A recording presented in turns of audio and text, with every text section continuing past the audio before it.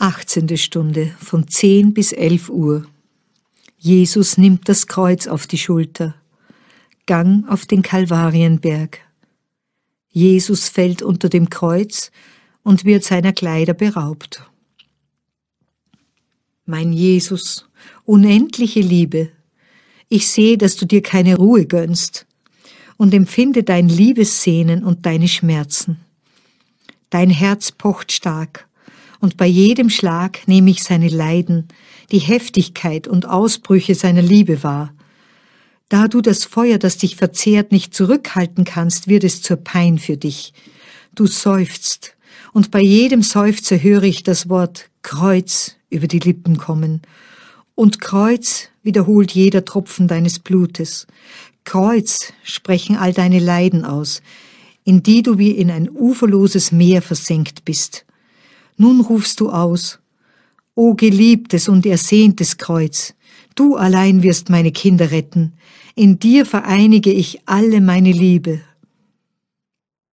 Indessen lassen dich deine Peiniger in das Gerichtshaus zurückkehren und nehmen dir den Purpurmantel ab, um dir wieder deine Kleider anzulegen. Aber welch ein Schmerz! Das Sterben wäre mir süßer, als dich so entsetzlich leiden zu sehen. Der Mantel verfängt sich in der Dornenkrone und bleibt haften. Mit unerhörter Grausamkeit reißen sie dir jetzt mit dem Mantel auch die Krone herunter. Bei diesem grausamen Vorgehen zersplittern viele Dornen und bleiben im Haupt zurück. Das Blut rieselt herab und dein Schmerz ist so heftig, dass du seufzt. Jedoch die Schergen kümmern sich nicht um deine Qualen. Sie legen dir deine Kleider an, setzen dir aufs Neue die Krone aufs Haupt und drücken sie so fest ein, dass die Dornen dir wieder in die Augen und in die Ohren dringen. Keine Stelle deines Hauptes, die nicht die Stiche der Dornen spürte. Unter diesen mitleidlosen Händen wankst und erzitterst du vom Kopf bis zu den Füßen. Ja, deine Qualen bringen dich dem Tod nahe. Mit trübem Blick deiner bluterfüllten Augen schaust du mich an und bittest um Beistand in diesem schweren Leid. Mein Jesus, König der Schmerzen, gestatte, dass ich dich aufrecht halte und an meinem Herzen ruhen lasse. Wie gerne möchte ich das Feuer der Liebe, das dich verzehrt, dir rauben, um deine Feinde in Asche zu legen und dich in Freiheit zu setzen. Allein du willst nicht, weil deine Sehnsucht nach dem Kreuz immer glühender wird und du dich auf ihm unverzüglich opfern willst, sogar für deine Peiniger. Während du nun an meinem Herzen ruhst, sprichst du zu mir. Mein Kind, lass meine Liebe ausströmen und sühne mit mir für jene, die das Gute tun, mich aber entehren. Die Juden legen mir wieder meine Kleider an, nur um mich noch mehr beim Volk in Verruf zu bringen und es zu überzeugen, dass ich wahrhaft ein Missetäter sei. Scheinbar war diese Bekleidung eine gute Handlung, aber der Absicht nach und in sich selbst war sie böse. Oh, wie viele verrichten gute Handlungen, spenden oder empfangen die heiligen Sakramente, aber in menschlicher, mitunter sogar böser Absicht. Das Gute jedoch, das man in böser Absicht tut, führt zur Herzenshärte so will ich ein zweites Mal gekrönt sein, unter noch heftigeren Schmerzen als beim ersten Mal, um die Herzenshärte der Menschen zu erweichen und sie mit meinen Dornen an mich heranzuziehen.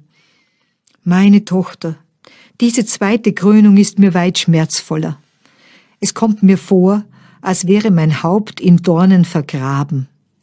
Bei jeder Bewegung, die ich mache und bei jedem Stoß, den sie mir geben, habe ich grausame Todesqualen zu erdulden.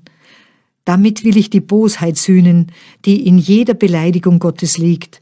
Sühnen für jene, die, mag ihr Seelenzustand sein wie immer, statt an ihre Heiligung zu denken, nur in Zerstreuungen leben, meine Gnaden zurückweisen und mich so noch grausamere Dornen empfinden lassen. Mir bleibt nichts übrig, als zu seufzen, Blutstränen zu vergießen und ihre Rettung zu ersehnen. Ach, ich tue alles, die Menschen zu lieben und sie tun alles, mich zu beleidigen. Lass wenigstens du mich nicht allein in meinen Leiden und meinen Sühneleistungen. Mein misshandelter Jesus, ich sühne mit dir, ich leide mit dir. Jetzt sehe ich, dass deine Feinde dich die Treppe hinunterstoßen, wo das Volk mit Wut und Gier auf dich wartet. Schon bringen die Schergen das Kreuz, nachdem du so sehnsüchtig Ausschau hältst und das du mit Liebe betrachtest. Entschlossenen Schrittes näherst du dich ihm, umarmst und küsst es. Deine ganze Menschheit erschaudert vor Freude. Immer wieder schaust du es an, und er misst seine Länge und Breite. An ihm bestimmst du schon den Anteil, den du allen Menschen zugedacht hast, einen Anteil, der genügt, sie durch das Band mystischer Vermählung an die Gottheit zu fesseln und zu Erben des Himmelreichs einzusetzen. Jetzt kannst du deine Liebe, mit der du die Seelen liebst, nicht mehr in Schranken halten. Darum küsst du aufs Neue das Kreuz, wobei du sprichst. Ersehntes Kreuz. Endlich kann ich dich umarmen. Du bist das Verlangen meines Herzens, das Martyrium meiner Liebe. Lange hast du gewartet, während ich meine Schritte stets zu dir lenkte. Heiliges Kreuz, du bist das Ziel meiner Wünsche, der Abschluss meiner Laufbahn hienieden. In dich lege ich mein ganzes Wesen hinein, in dich alle meine Kinder. Du wirst ihr Leben, ihr Licht, ihre Verteidigung, ihr Schutz, ihre Kraft, ihnen in allem eine Stütze sein und sie triumphierend in den Himmel führen. O Kreuz, Lehrstuhl der Weisheit, du allein wirst die wahre Heiligkeit lehren, du allein die Tugendhelden, die Märtyrer, die Heiligen bilden, Schönes Kreuz, du bist mein Thron. Da ich von der Erde scheiden muss, bleibst du an meiner Stadt zurück. Dir gebe ich zum Erbe alle Seelen. Bewahre sie mir, rette sie mir, dir vertraue ich sie an. Während du so sprichst, mein Jesus, lässt du dir das Kreuz auf die Schultern legen. Es ist für deine Liebe noch zu leicht, aber zu seinem Gewicht gezählt sich noch, dass unserer riesengroßen Sündenschuld so weit und breit der Himmel reicht. Du, mein unter ihrer Last gebeugtes Gut, fühlst dich abgestoßen von so vielen Vergehen. Die Seele erschaudert bei ihrem Anblick, weil du ja die Strafe für jede einzelne Schuld der Sünde zu tragen hast. Deine Heiligkeit fühlt sich abgestoßen von ihrer Hässlichkeit. Deswegen wankst du, da du das Kreuz auf die Schultern nimmst, gerätst in Betrübnis, und von deinem Leib rinnt Todesschweiß. Ach, meine Liebe, ich kann es nicht über mich bringen, dich allein zu lassen, darum will ich die Last des Kreuzes mit dir teilen. Um dir die Last der Sündenschuld zu erleichtern, umklammere ich deine Füße. Im Namen aller Menschen möchte ich dir Liebe schenken für jeden, der dich nicht liebt, Huldigungen für den, der dich missachtet, Lobpreisungen, Danksagungen und Gehorsam für alle. Ich bekenne feierlich, dass ich bei jeder Beleidigung, die du erfährst, die Absicht habe, mich ganz und gar dir zum Opfer zu bringen, um dir Sühne zu leisten, einen den Beleidigungen entgegengesetzten Tugendakt zu verrichten und dich zu trösten mit meinen fortgesetzten Akten der Liebe. Da ich aber einsehe, dass ich zu armselig bin, bedarf ich deiner, um dir wahre Sühne darbieten zu können. Darum vereinige ich mich mit deiner Menschheit, meine Gedanken mit den deinigen, um für meine bösen Gedanken und die aller Menschen genug zu tun. Ich vereinige meine Augen mit den deinigen, um die bösen Blicke zu sühnen, meinen Mund mit deinen, um die Gotteslästerungen und die schlüpfrigen Unterhaltungen zu sühnen, mein Herz mit dem deinen, um für alle bösen Absichten, Begierden und Neigungen Genugtuung zu leisten. Mit einem Wort, ich will für all das sühnen, wofür deine heiligste Menschheit sühnt, in Vereinigung mit deiner maßlosen Liebe, die du allen Menschenkindern entgegenbringst, und all dem Guten, das du ihnen in unbeschränktem Maß erweist, ich will mich aber auch mit deiner Gottheit vereinigen, dieses mein Nichts in ihren Abgrund versenken und so alles dir geben. Ich schenke dir deine Liebe, um deine Bitterkeiten zu versüßen, schenke dir dein Herz, um dich schadlos zu halten für die Kälte, Undankbarkeit und geringe Liebe seitens der Menschen, wie auch dafür, dass sie deinen Einsprechungen nicht folgen. Ich schenke dir die ewigen Harmonien, die in deiner Gottheit liegen, um dir wohl zu tun dafür, dass du Flüche und Verwünschungen anhören musst, von denen die Luft erzittert. Ich schenke dir deine Schönheit, um deinen Blick abzulenken von der Hässlichkeit unserer Seelen, wenn sie durch Sündenschuld besudelt sind. Deine Reinheit als Ersatz für den Mangel an guter Meinung, für den Schmutz und die Fäulnis, die du in so vielen Seelen siehst. Ich gebe dir auch deine Unermesslichkeit zum Geschenk, um dir Trost zu bereiten für den Unverstand, dass die Seelen sich freiwillig einengen, um dir keinen Raum zu gewähren. Ich mache dir die Glut deines Herzens zum Geschenk, um damit alle Sünden zu verzehren und alle Herzen anzuzünden, dass alle dich lieben und niemand mehr dich beleidige. Kurz gesagt, ich schenke dir alles, was du bist, um dir unendliche Genugtuung und ewige, unermessliche, unendliche Liebe darzubieten. Mein geduldigster Jesus, ich sehe dich die ersten Schritte unter der ungeheuren Last des Kreuzes tun. Ich vereinige meine Schritte mit den deinigen. Wenn du, schwach und erschöpft, im Begriff bist zu fallen, dann werde ich an deiner Seite stehen, dich aufrichten und meine Schultern unter das Kreuz stemmen, um mit dir seine Last zu teilen. O verschmäh mich nicht, nimm mich an als treue Gefährtin.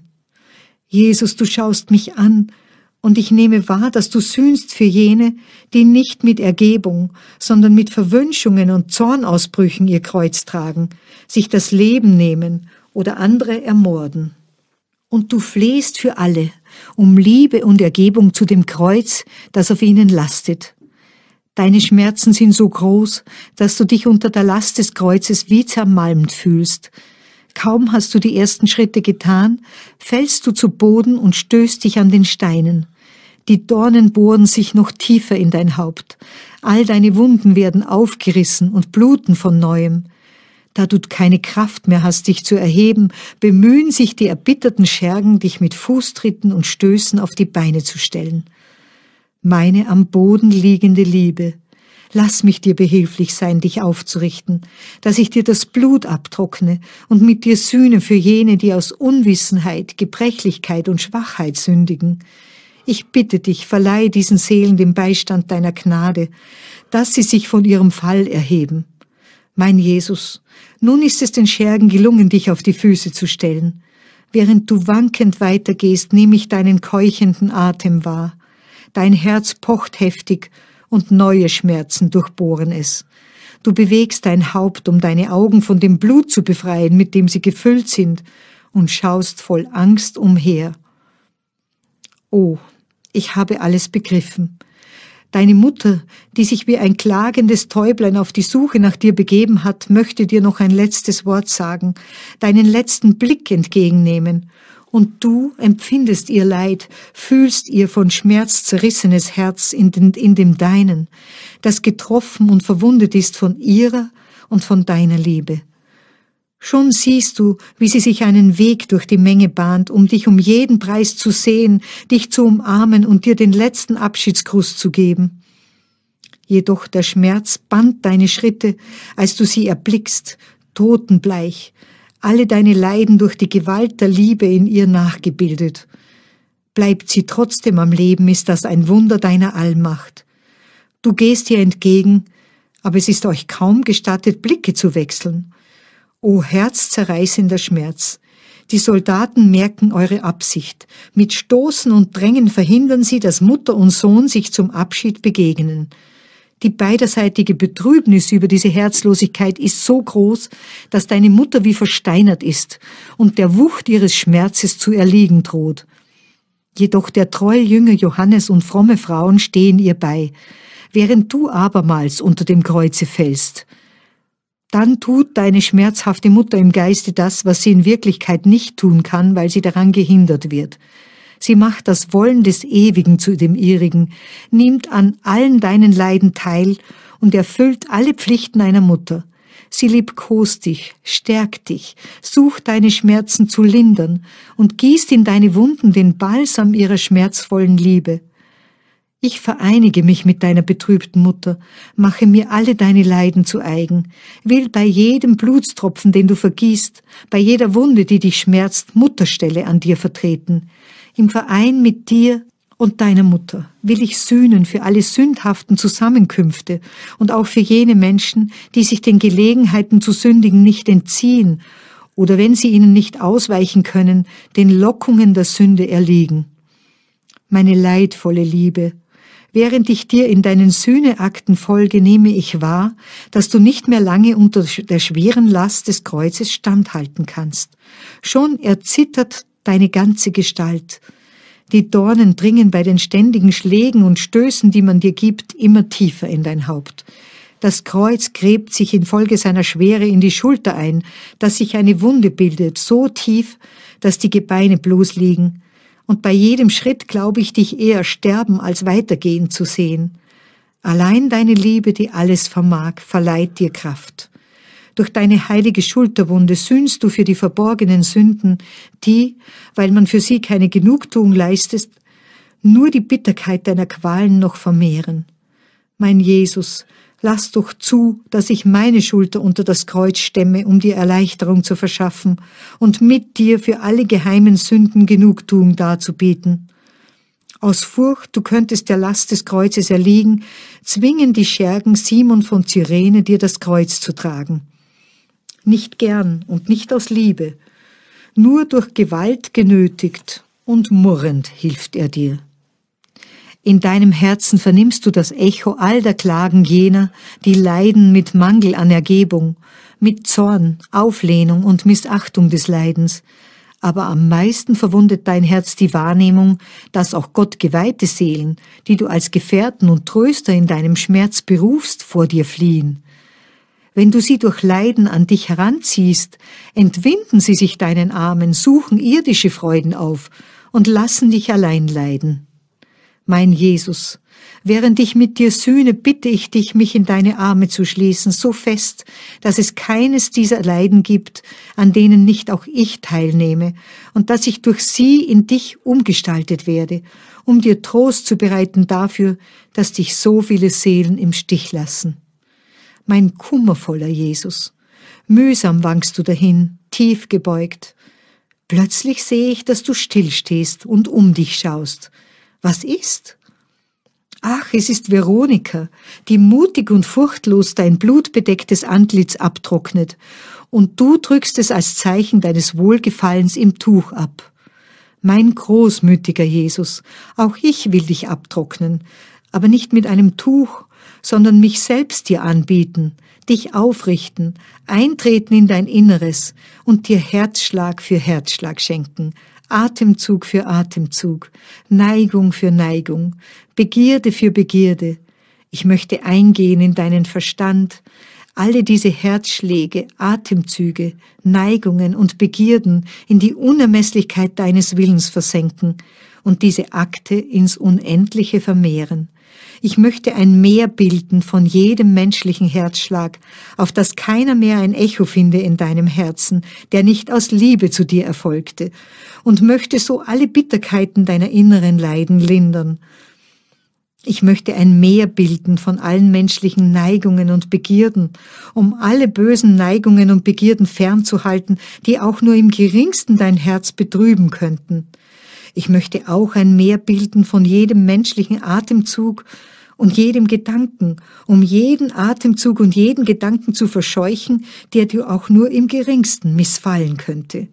Ich werde gute Wache halten, mein Jesus, dass nichts mehr dich betrübe und zu deinem inneren Leiden nicht noch andere dazukommen. Mein Jesus, mache doch, dass ich mein ganzes Inneres in die Unermesslichkeit deiner göttlichen Wesenheit versenke. So werde ich Liebe und starken Willen genug finden, um es dahin zu bringen, dass keine sündhafte Liebe und kein Wille in mein Inneres eindringe, die dir missfallen könnten. Mein Jesus, um meiner selbst versichert zu sein, bitte ich dich mit deinen Gedanken, deinem Willen, deinen Begierden und deinen Neigungen, meine Gedanken, meinen Willen, meine Begierden und Neigungen zu besiegeln, auf dass sie auf diese Weise nur von dir belebt seien.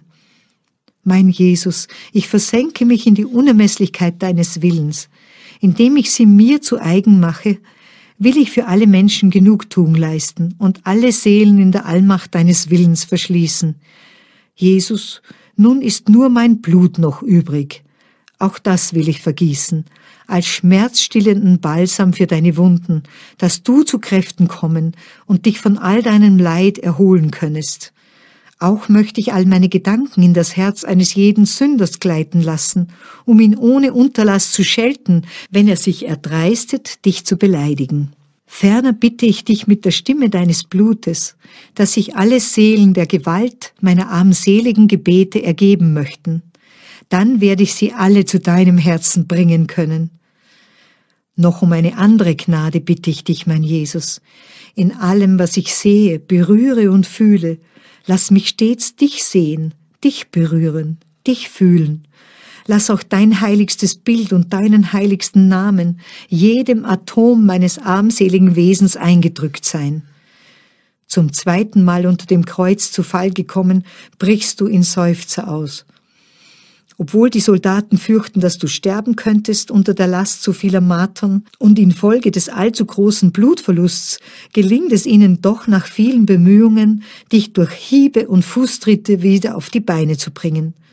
So sühnst du die wiederholten Rückfälle in die Sünde, sühnst die schweren Sünden, die von allen Klassen der Menschheit begangen werden, bittest für die hartnäckigen Sünder und weinst Blutstränen, um ihre Bekehrung zu erlangen. Unterdessen schlagen dich deine Feinde wieder, die mit bösen Blicken die rührende Handlung Veronikas betrachtet haben und treiben dich auf dem Weg voran. Nach einigen Schritten bleibst du abermals stehen. Obwohl deine Leiden schwer auf dir lasten, gibt es für deine Liebe keinen Stillstand. Als du fromme Frauen erblickst, die dich und deine Leiden beweinen, vergisst du dich selbst und tröstest sie mit den Worten, Ihr Töchter Jerusalems, weint nicht über mich, sondern weint über euch und eure Kinder. Welch erhabene Lehre, o oh mein Jesus, und wie sanft ist dein Wort. Mit dir sühne ich den Mangel an Liebe. Darum bitte ich dich um die Gnade, dass ich mich gänzlich vergesse, um mich an nichts anderes zu erinnern als an dich allein. Da deine Feinde dich sprechen hören, geraten sie in Wut. Sie reißen dich an den Stricken hin und her und treiben dich in solcher Eile voran, dass du abermals zu Boden fällst und deine Knie an den Steinen wund schlägst. Das Gewicht des Kreuzes wird dir zur Qual. Es ist, als wärst du dem Tode nahe. Mit deinem Angesicht berührst du die Erde, und dein Mund wird gerötet von Blut. O lass mich dich doch aufrichten und mit meinen eigenen Händen dein Antlitz waschen. Aber deine Feinde wollen dich auf die Füße stellen, ziehen dich an den Stricken und Haaren empor und geben dir Fußtritte. Doch vergebens. Welche Qual, mein Jesus! Mein Herz bricht vor Schmerz. Nun schleppen dich die Schergen auf den Kalvarienhügel. Auf dem Weg dorthin sühnst du für die Sünden der dir geweihten Seelen. Sie lasten schwer auf dir. Wie sehr du dich auch bemühst, aufrecht zu gehen, gelingt es dir nicht. Mit Fußtritten bedacht und fortgeschleift kommst du endlich auf Kalvaria an, überall Spuren deines kostbaren Blutes hinterlassend. Dort erwarten dich neue Peinen. Die Soldaten ziehen dich abermals aus, reißen dir die Kleider vom Leib und die Krone vom Haupt. Ach, du seufzt bei dieser rohen Behandlung, denn mit der Krone reißen sie dir auch die Dornen aus und mit deinen Kleidern Stücke deines wunden Fleisches weg, das angeklebt war. Die Wunden brechen wieder auf, das Blut rieselt auf die Erde, und deine Qualen sind so groß, dass du mehr tot als lebendig erscheinst. Aber niemand wird zum Mitleid bewegt, mein höchstes Gut. Im Gegenteil, mit tierischer Wut setzen sie dir aufs Neue die Krone aufs Haupt und drücken sie mit Schlägen ein. Die Qualen, die du empfindest, sind so entsetzlich, dass nur die Engel zu sagen vermöchten, was du leidest. Erschaudernd wenden sie ihre Blicke von dir ab.